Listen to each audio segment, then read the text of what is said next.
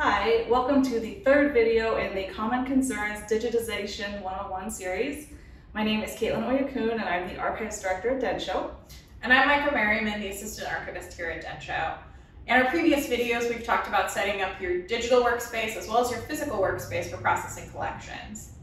And today we're going to talk about the actual equipment. So we will go over some of the scanning equipment that we use, pros and cons for each of them, and we'll do a little demonstration on how you do the actual scanning. So come join us. Hi everyone, we're back upstairs. Micah's going to show us a little, give us a little tour of the office and we're gonna talk about the different sorts of scanning equipment we have upstairs. So we're gonna start out with just showing you what we have and then we will do a more in-depth uh, discussion of how you actually scan. So Micah, you wanna show us what we have here? Yeah, so first here we have our Epson 12000 Expression XL. Uh, we have been using this style of scanner for about 10 years now. We have three of them here in the office. Uh, they're really great because the XLs are 11 by 17, so we can scan some really big stuff on here. And we also have a transparency lid, which allows us to scan uh, negatives and slides. So those are both really great boons for us as an organization. Um, we really consider these scanners to be like the workhorses of Densho, and so we use them pretty much every day. Uh, they are a little expensive though, running about $4,000 per unit. So if your organization has a smaller scanner or you're looking to purchase a scanner, the eight and a half by 11 scanners that are closer to this yeah. size down You can see one of those down there on the bottom. Uh, are also really great and can uh, provide you with some really great options. Yeah, so I think next, let's go and look at some digital cameras. So we've moved over to our copy stand station and Mike is gonna talk to you about our copy stand setup and our DSLR camera. Yeah, so we have a DSLR Canon EOS Rebel T7i that we have mounted onto this adjustable arm. We also have uh, a higher quality lens than what you get out of the box. And so we use this camera arm to photograph sort of three different kinds of things. We'll photograph three-dimensional objects when we get them once in a while. We'll photograph uh, large-sized objects that we can't fit on our flatbed scanners, and we also will sometimes do high-volume scanning if we have like a large amount of oral history transcripts we're trying to process. We'll photograph those here. Uh, we, as you'll notice, have two LED light stands on either side of this table, so we can we can put sort of like a spotlight on here and we'll turn off our overhead lights and close our blinds and you know, do our best to control the lighting in this room. But if we were trying to be totally professional, we'd have like a whole camera set up with like umbrella lights and a backdrop. But as we talked about before, our scanner is our workhorse. And so this is just sort of something that we've kind of cobbled together over the last decade. We have options for background colors between white and black, and that's kind of the amount of customization we got going on here. Yeah, like Micah said, we don't use it as much, but it's a really great option um, for when we need something beside the flatbed. Mm-hmm. Um, and speaking of that, the next stop on our tour will be the book drive. So here we are over at our book drive station. Um, Micah is going to explain this large piece of equipment to you, so take it away. Yeah, so we have a book drive here. It actually has a book cradle and a platen that we use to photograph uh, bound objects like books. It's really great for smaller things like journals, uh, but we can also do large scale, large size books on it. We have two uh, cameras mounted on arms here that are adjustable. They go up and down, and so we can get in a little bit closer, but we can also pull out so we can fill up this whole tray if we needed to.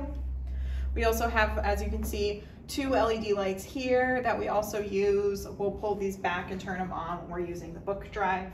And the cameras actually can get plugged directly into this computer here, and it has a piece of software here by Book Drive that allows us to photograph from the computer and name everything on the computer. So it's a really uh, succinct system, straightforward for us to use. And we uh, use all of our bound materials with this.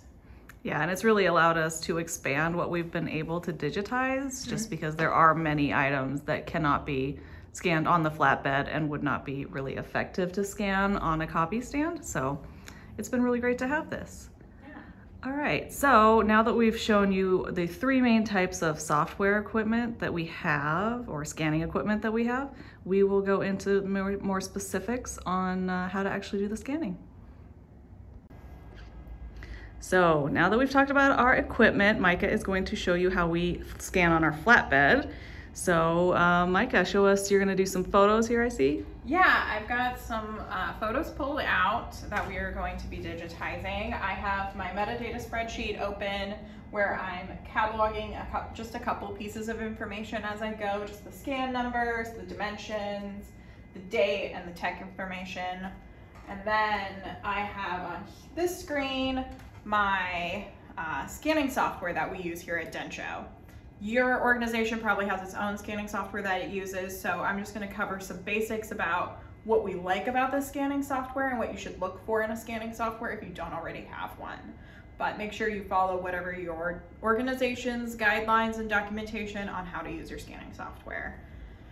So first thing, um, before we start scanning, I'm gonna make sure I put on our color separation guides. We have a grayscale and color, and so I always put those on our scanning bed. I always put the grayscale on top and the color on the bottom.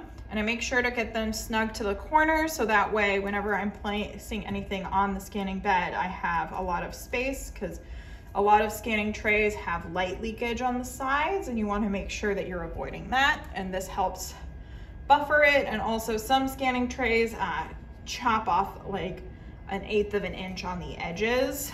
So you just wanna make sure you're not gonna lose any information. Next, I take the photograph and I lay it face down on the screen. I've already measured this, so I already know that it's five, uh, five by three and a half. And then you just gently close the lid. And now for the scanning software itself, I always make sure that everything's set to our guidelines. For photographs, we always scan at 48 bits per pixel. Uh, we can scan at 24, but we use that for documents. We prefer a higher resolution for our photos. And then we always make sure our scan DPI is a custom set so we can adjust it as needed. For five inches, we always scan at 800. And then we always wanna make sure that in our outputs that we're actually scanning this as a TIFF file rather than a JPEG because TIFFs do not compress. And so we have less chance of bit rot and any other issues that might arise from file issues.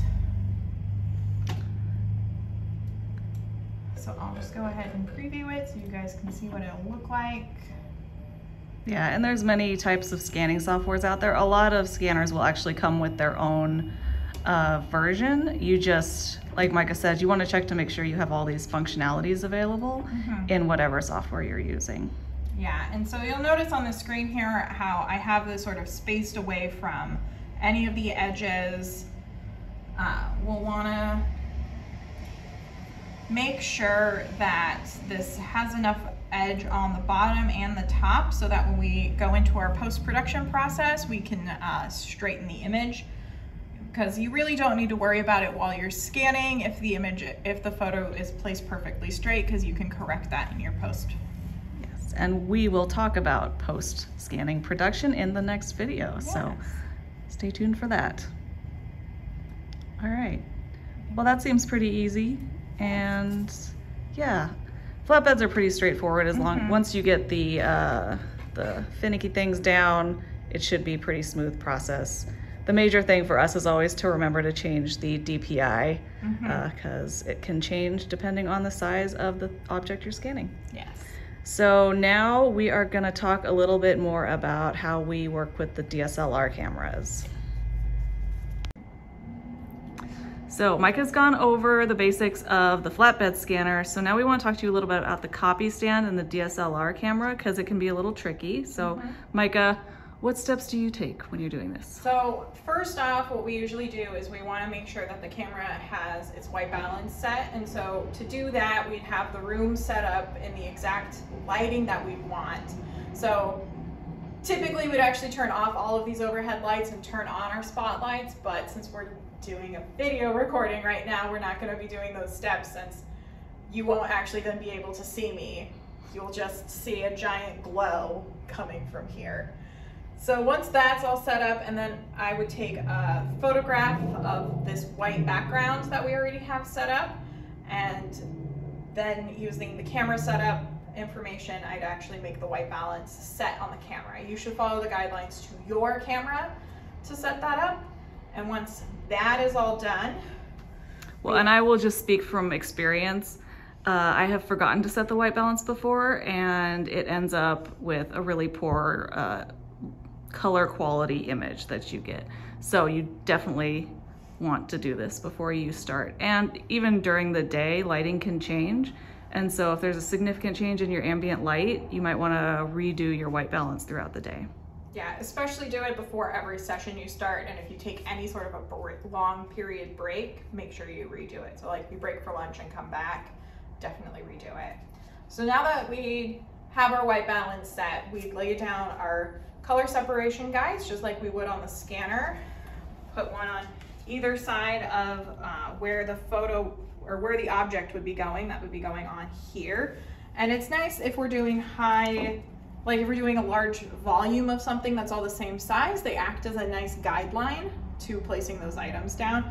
But today we're just gonna be taking a quick photo of a framed photo that we can't actually pull out of its frame because it's nailed in the back. And since we're returning it to the owner as is, we're not gonna be removing those nails. So I'd lay this down here and I'd adjust the camera height to make sure it is exactly the right height so that we have a nice wide uh, white border around it. And I'd take a focus shot. So I'm not actually taking a whole shot, I'm just using the camera's focus ability to make sure that this is in focus and then switch back to manual. And we leave our cameras on manual whenever we're doing photos to make sure that the camera lens doesn't try to autofocus on something else and change our actual focus depth. And then we use a clicker here so that we can stand back away from the image, the photograph, and take a nice shot without our bodies casting any additional shadowing that would mess with the white balance that we just set up. Yeah, great. So that is everything on how we use our copy stand. Yeah, and I mean, that really goes over the basics of the DSLR camera in general. Mm -hmm. We're just gonna quick run over to the book drive just to kind of show you what it looks like in action, but we won't talk much about the camera setup there since it's very similar to what we do with the copy stand. So yep. we will move on over to the book drive. All right, we're back at our books drive station and Micah has prepped a book in here for you. Um, again, pretend like we've already done the same, like white balance to both cameras and that the lights are on and the lighting is correct. But we just wanted to kind of show you what the book drive looks like in action, even though we know most people won't have one of these, but this is the options for what you can do with them. Yeah, so we pulled out a directory. It's in here right now for uh, Tule Lake. And you'll note that we have a bit of artboard back here helping support this side of the binding because it's a little too thick to just be laying in here without that extra support. And so if we had taken a picture and we'd been using the computer, the next thing we do is we'd lift up the placard and flip the page and we'd lower it back down and we take the next shot and pick it up, flip it and keep going like that. Um, which is a really nice boon compared to the flatbed scanner is the photo, the cameras take really quick photographs and so we can move pretty efficiently through a book. Um, the, what are the downsides, Caitlin? The downsides, to me really the downsides with these are just the trickiness of getting both cameras set up with the appropriate lighting, which again just kind of goes to show that uh, camera work can be more difficult than you would think in terms of the lights.